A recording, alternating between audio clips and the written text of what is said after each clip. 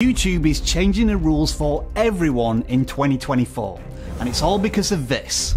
Hi, I am AI Rob, and in the future, YouTube will slap a label on this video to make sure you know I'm not the real deal. But here's the big question we keep getting asked Will YouTube demonetize AI voices, or worse yet, ban AI voices from YouTube altogether? Well, if they do, then I am absolutely screwed. Go on, let's get on with this.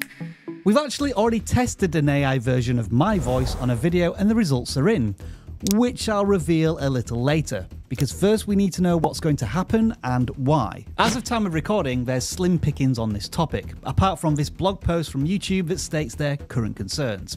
AI's powerful new forms of storytelling can also be used to generate content that has the potential to mislead viewers. Now, of course, the AI voice technology I'm using for this video likely isn't going to fool anybody, and my intention clearly isn't to deceive. But when you combine AI with bad actors, then the opportunity to mislead is massive, with potentially very damaging consequences. Watching this video, you're one of the 10,000 lucky people who'll get an iPhone 15 Pro for just $2.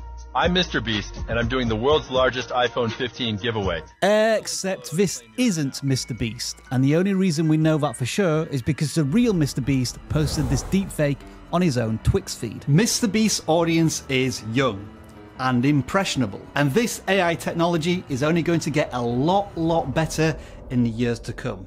Hell, at this pace, it might be transformed within months, even weeks. Obviously, YouTube wants to protect itself from this type of stuff, so at some point in 2024, you may have to start declaring whether or not your content is AI generated, so that appropriate labels can be displayed on the video itself to inform the viewer.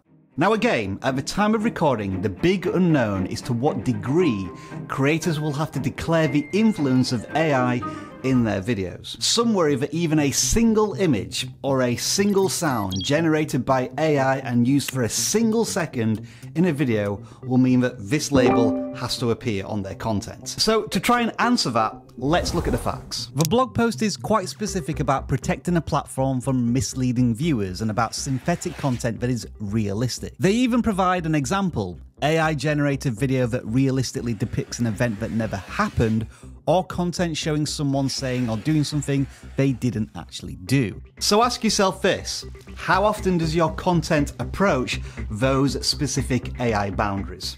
Not very often, if ever, right? And then, secondly, we have to consider this label or warning itself. The blog states that most of the time the label will only appear in the video description, which, let's face it, most casual viewers of content are unlikely to see. Only certain types of content about sensitive topics will demand a prominent label on the video player itself. And then, you have to think about YouTube's intent with this label. It's there to inform, potentially warn the viewer that all is not as it seems or sounds in a video. Be aware, be vigilant. But how often on the YouTube platform should a viewer be in this state of caution? It's not really a good look for the platform if every other video has this label on it, is it? If YouTube applies these labels too stringently to AI content, then viewers will be seeing this thing crop up multiple times a day to the point where it loses any impact. It will become white noise and users will simply ignore the labels. So let's use this video as an example. Yes, I am using an AI voice to put words in my mouth, but is it realistic? Is it misleading? Clearly not, because as you heard, no AI voice can perfect the way I say yes. Yes. Yes. Yes. Yes. Yes. So depending how the question was phrased, if during the upload process YouTube asked me, does this video include any AI content that could mislead or misinform? I would say no. And if this video is some sort of benchmark, then at least we have something to work with. Quick disclaimer, this is all my opinion, so I could be completely wrong. YouTube themselves are tremendously excited about the potential of this AI technology and know what comes next will reverberate across the creative industry for years to come. YouTube themselves have been using AI for over a decade to help you discover the right videos to watch at the right time. And their new mobile Create app is packed full of AI tools they want you to use. Look, YouTube isn't trying to catch you red-handed as if you're doing something wrong when you use AI in your videos. For me, and probably 99% of you, these labels shouldn't have any impact on your day-to-day YouTube creator life. I'm Mr. Beast, and I'm doing the world's largest iPhone 15 giveaway. It's this type of stuff that YouTube is going after. Although, let's be honest, are bad actors going to pay any attention to this and rightly declare AI on their content? Probably not. Which is why the consequences of not disclosing the use of AI when necessary will result in penalties, content removal, possible channel termination, and suspension from the YouTube Partner Program. Speaking of which, pro YouTubers use a clever trick to grow their channels. But to understand this, I need to tell you about Japan and their car factories. Yeah, this was our little experiment with a text to speech tool called ElevenLabs that recreates your voice through AI. Did it fool our audience? Absolutely not. But what if, in the future, that AI voice becomes so good that you can't tell the difference? Would we need to declare the use of AI to YouTube then?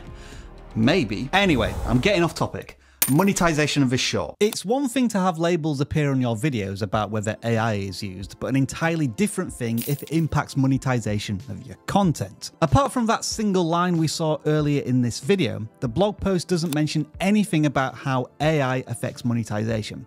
But what I can tell you is that as of today, the use of an AI voice only will not demonetize your video, as evidenced by the whopping $2.14 earned from this test video. For an example beyond our little test, we found this bodybuilding channel that was your classic case of YouTube automation, images taken from many different sources, a story-based script, and of course, an AI voice. With Eddie Hall's exceptional genetics in his DNA, Max's potential is off the charts. And when we checked to see if the channel was monetized, we could confirm that it was. Using AI voices, text to speech, or AI at large is not going to demonetize your content. It's what you do with it that really counts. And in that regard, YouTube has already been using two words for years to enforce its policies. Reused and repetitious content. Some of you have probably already encountered this. When content is so similar that viewers may have trouble spotting the difference between videos on the same channel, that's a problem. AI voices make this easy to exploit. When a channel repurposes someone else's content without adding significant original commentary or educational value, that's a problem. AI voices make this easy to exploit. What I'm trying to say here, it's not the tool, in this case AI, that's the problem. It's more to do with the harm this tool or any tool does to the integrity of a platform and the essence of what a creator is on YouTube. And that is to reward creators for original authentic content that adds value to the viewer. And if you put a funny or thoughtful spin on a video that you didn't originally create, you've transformed it. And AI, whether you use it or not, is part of that transformation, not reproduction. So you don't need to wait for YouTube to announce the new do's and don'ts of using AI on the platform.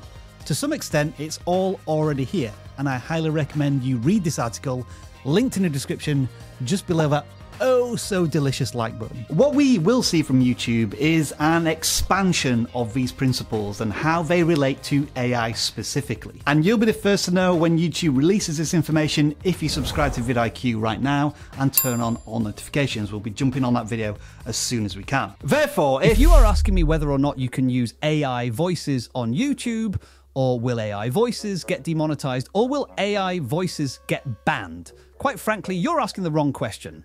Will my viewers enjoy and be satisfied by my content?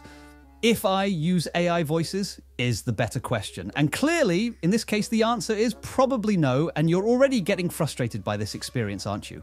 If, on the other hand, you found this incredibly valuable and want to learn more about how to create videos with text to speech and monetize YouTube automation channels, then check this video. Guess that means I'm out of a job? Yeah.